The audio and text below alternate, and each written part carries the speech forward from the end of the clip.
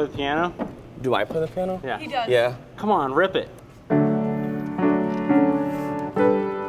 My family all came here, and so I've kind of grown up with Milwaukee Lutheran. But when I was in like eighth grade and really started to sit down and talk about high school with my parents, I thought of what extracurriculars do I want to do? I do I want to be in sports? Do I want to be in theater, choir, band? I've been in choir and band all four years in the drama department.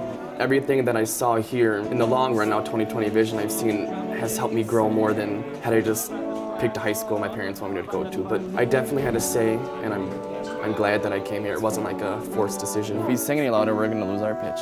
You're gonna lose more than your pitch. We're going to lose our voices. bust a vocal cord. Alex is very, very gifted. He has a great singing voice. He plays the French horn.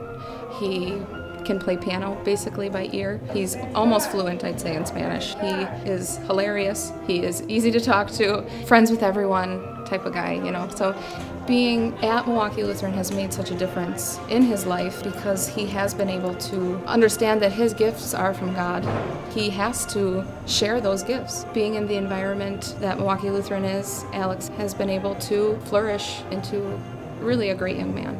You could choose to go to a public high school and get the education, have the friends and stuff like that, or you could come to Milwaukee Lutheran and along with having the friends and the great education and the college prep and all that, you can make relationships for a lifetime, grow in your faith, and it's a, like a different undertone of everything that we do here. You can tell that we have something different, and I'd rather be part of that than just a regular education.